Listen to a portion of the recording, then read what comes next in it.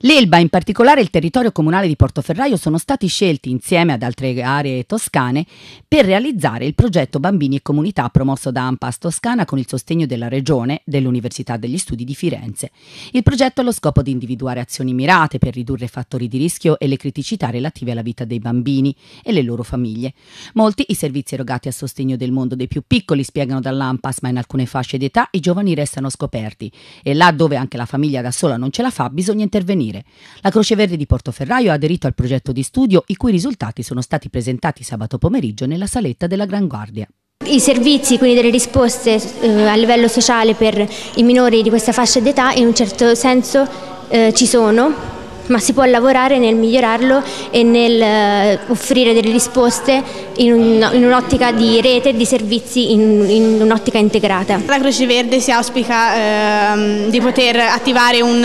un passo successivo per creare poi concretamente un calendario di magari eh, attività ludiche, laboratori creativi o mh, dopo scuola di assistenza allo svolgimento dei compiti per i bambini e, e per le famiglie che appunto non riescono o hanno delle difficoltà nel seguire i loro figli